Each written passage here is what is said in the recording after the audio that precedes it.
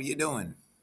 I sincerely hope that these Abraham Hicks recordings have the same beneficial effect on your life as they have on mine.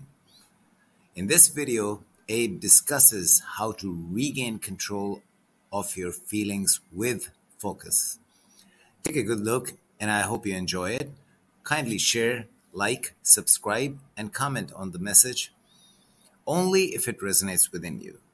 The subtitles in any languages are available after 24 hours. Enjoy and chill. Okay. So, the way I understand it is that contrast is just to show us all to give you things to choose from. exactly, and that's all it ever is. Whether it's my soulmate died or I hit a kid on a bike, it's not a bad thing. There's no good or bad, it just is. And from that point, that I can choose how I feel, and my feelings are letting me know that I'm either on track with my inner being and source or I'm off track. I'm on or I'm off. And that's all. And it's just that simple. That is all, and we are appreciating your extreme examples. Well, I mean, because we all, and, but it's true, because both those things happened to me, and that's okay, because it has made me a far better person. Because I can choose, I can go, okay, well, that kid was there, I was there, we were, whatever. But it's just giving me the contrast is just allowing all of us to be more fulfilled and be more alive. And just to know that I have a choice and it's all okay, regardless. That's the whole thing. It's like we just need a little more self love, would you say?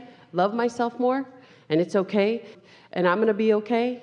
Even if I do die, it, I don't need to be fearful. It's all okay, right?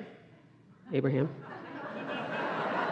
And that's what we're not getting here. I'm like, I just need to just relax. If I don't do anything, it's okay, right? Would you say? We would. See? Okay, because it just seems like we all keep getting up here asking you the same thing over and over. You're so patient. Oh my God. You guys are so patient. I want to be. You know why? Because it's all I'm condi- okay. There you go. See? Yeah. And it's all unconditional. Uh, But how? This here, here I go. It just just know that it's all okay. It's all okay, right? It helps. But the, in the contrast, it's just helping me be a, closer to, because I'm never going to have not contrast. I mean, everyone, I want to have a perfect life, but in the contrast, I'm going to learn more. Not learn is not the right word, but strive for. You know what the perfect life feels like? When it reaches that place that you say, now I've really got it going on in a way that I intended when I came.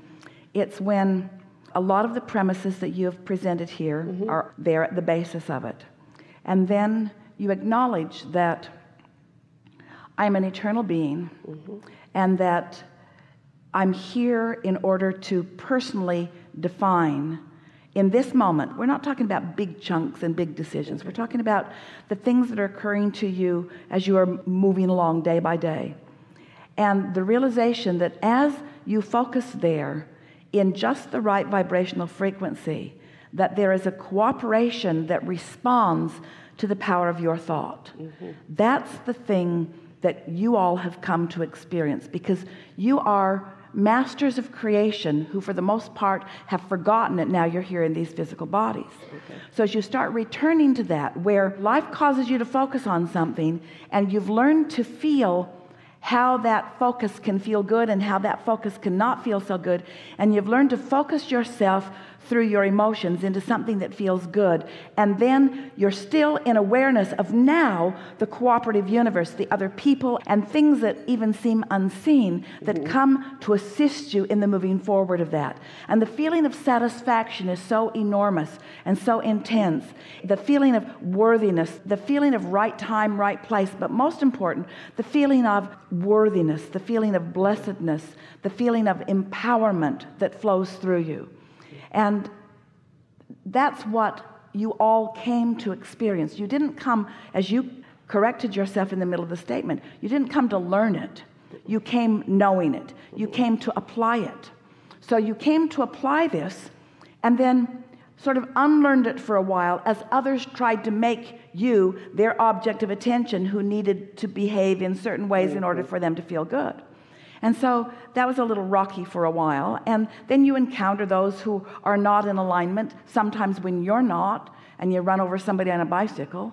That's not something that you intended or something that you wanted, but it's something that happened because it was a byproduct of where your vibration was and their vibration was. And you're right, nothing went wrong. It was just another contrasting experience that caused you to get clearer. Mm-hmm. But what you want, what you all want, is mastery of focus, mastery of vibration, mastery of emotion. And then the fun begins. And then the fun begins. And so that's why all day here today, we're going to take a segment right now of refreshment. But that's why all day here today, we've been saying to you do the vibrational work, do the vibrational work, do the vibrational work. Close that gap, close that gap. Get control of your feelings. Don't need conditions to change in order to get control of your feelings. Get control of the way you feel by using your ability to focus. Get control of the way you feel by using your ability to focus. So you have some really contrasting experience. Esther had that too, where she for a while could not get control of the way she felt because the condition was too big. But with the conditions that's too big to get control of the way you feel, what is born is a new desire, a stronger than ever desire to get control of the way you feel.